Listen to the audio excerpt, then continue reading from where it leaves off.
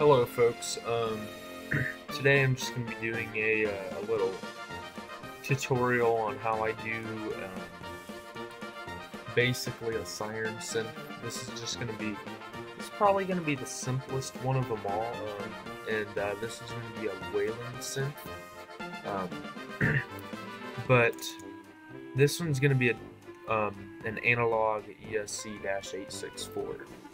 So, um, I'm going to be basing this off of the 480 hertz tone, which is kind of a rare tone, but um, I'm going to go through step by step on how you can do it. So, um, yeah. So first of all, you're going to want to have Audacity open. Um, if you don't have Audacity, I definitely recommend installing it if you want to do this because there's no other way you're gonna do it. Unless you have like I don't know, some other thing you use. But um, I'm using Audacity. So we're gonna want to first start off start off with the wind up. We're gonna do chirp and uh, I have my waveform as sawtooth.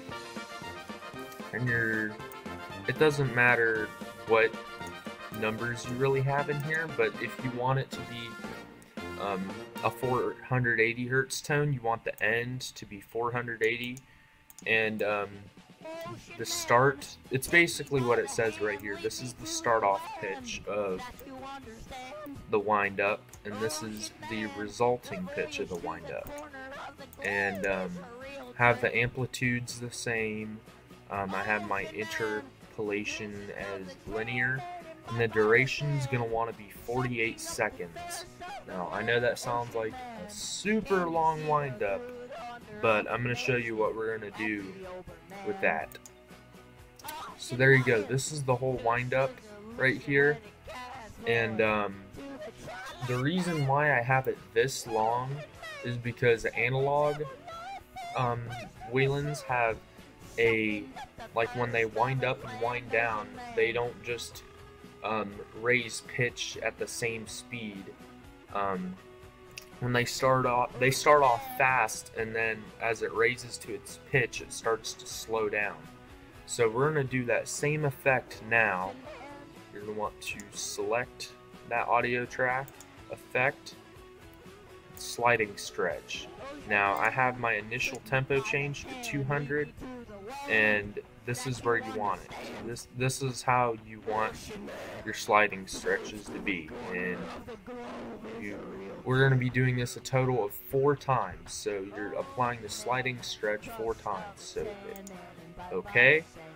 It's going to take a little bit of time considering it's kind of a long piece of audio. Okay, so that's once. We're gonna do it again. Twice. Should it should be shorter every time. And then you're just gonna want to keep doing it until it gets to three seconds. Alright, one more time. There we go.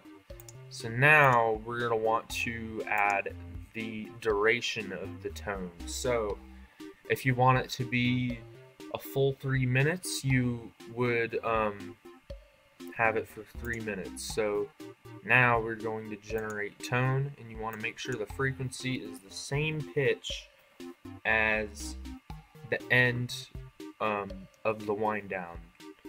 And the duration doesn't really matter how long, that's just how long this, the pitch is going to be going. Um, I'm going to do it for 27 seconds, so that would be a total of a 30 second um, test, I guess, if you want to call that, want to call it that, whatever. I cannot talk today. Um, and then you want to get rid of that black beam thing there because that stops the pitch. Um, and now for the wind down. You want to make sure like this is not selected when you do this because if you do it's going to add it to the end and you don't want that you want it to create a separate audio track you want to do chirp again And instead of having the numbers like this, you're going to reverse them 480 to 315. Instead, you want your duration. I, I have it as this. This is where you want it. Um, you want it to be 20 seconds. So the wind down will be, it will really be 10 seconds. Um, so select effect, and you only apply the sliding stretch once for this wind down. Alright, there you go. And now I'm going to copy that and paste it to the end of this here. Now delete that audio track. Now select this, and now it's time to add some of the basic effects. So I'm going to start with the bass and treble. This is where I have it. The bass is at 0, treble's negative 30, and the volume decibel output is 2. So this is basically where I have it. And then I say apply. And now you want to go to graphic EQ. And this is where I have it. Basically, you want these five right here to be up. The 315 hertz, 400, 500, 630, and 800.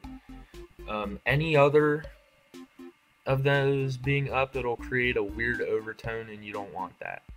So now you're gonna hit OK, and it should look like this. If there's a little um, line there in the middle, that usually is just a little clip in the sound, but there is none after this. So now for the moment we've all been waiting for.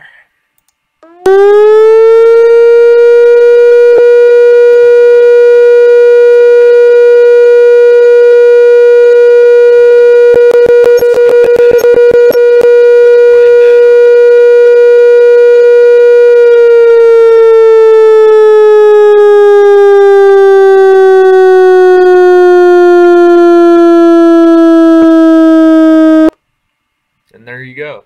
That's basically a um, a 30 second test of a 480 hertz Whelen with a ESC 864 controller. I think that's the it's the only controller you can have a pitch like that because they um, allow custom pitches. But yeah, there you go. Um, that is the that is it right there. Um, if you want me to do more of these, I can do more tutorials on how I do them. But yeah, don't forget to like, subscribe, and get Tom from keep Tom away from my videos because I'm tired of that stupid bot always commenting. Keep up the good content.